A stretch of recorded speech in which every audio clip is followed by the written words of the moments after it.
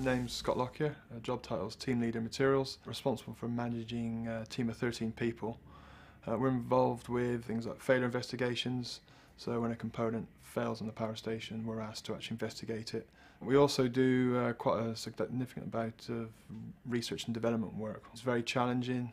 Uh, you're getting uh, a range of different things to do every day because as well as obviously managing the team, I'm also involved in doing work myself. I don't just sit there and direct people. I'm actually, at least 50% of my job is involved on practical work. I find it um, fulfilling. I look forward to going to work. Um, I enjoy it. It's just good fun. I don't really think I knew what I wanted to do. I remember getting to um, into the fifth year at school. Now I would have been uh, 15 at the time not really knowing what I'd do. You, you choose subjects you want to do, and you know, all the best subjects. I, my best subjects were history and geography and metalwork. Engineering was the automatic choice, mainly because I'd grown up in a, an environment where my dad was always buying old lawnmowers, chainsaws, whatever else, and doing them up, getting them working, selling them on. Same with cars and stuff. So I grew up in an environment where taking things apart and putting them back together again was something that was was normal, was what you did. And my dad let me help out, and my brother would help out and stuff. So I, got, I was used to doing those sorts of things. So it seemed the, in many ways, the easy option to try and formalise that.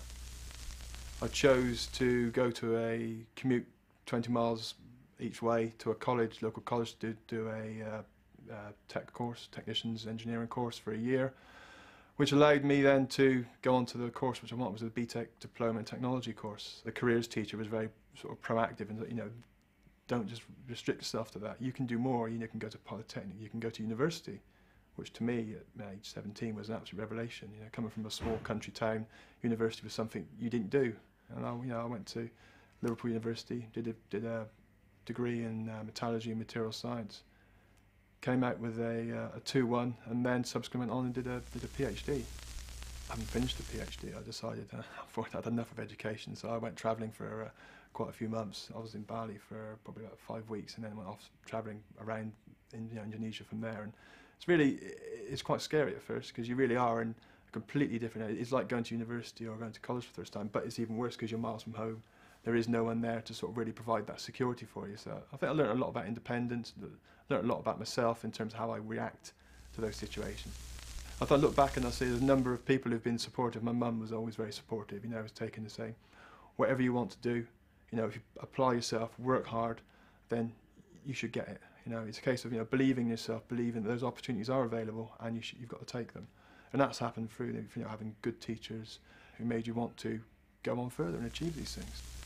Work is still important to me, but my children are also important to me, and I think that's you have to make that balance. And I think you know I'm quite lucky that I've you know, I will do the long hours if, if needs be, but I also am very aware that you know I have a responsibility that to, you know to look after children and give them the best possible possible start as well. And it's also fun. They're fun to be with. They say some some you know ridiculous things sometimes.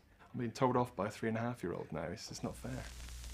For me personally, in terms of job security, it feels very secure. It feels like a business that you know there's lots of things going on in terms of developments within the role. I I, I think I've just seen how things develop. I I do have a, a, love of the technical work, and it may be that at some point I'd like to sort of jump back into doing that. Uh, maybe as as what, what we term currently term as a technical head, or as a sort of a, a senior technical consultant role. People have been there at the right place, the right time to give me the right advice, maybe to take a bit of take a gamble with me. But I've also actually always worked hard, always said, you know, if you apply yourself as hard as you can, then you should be able to achieve what you want.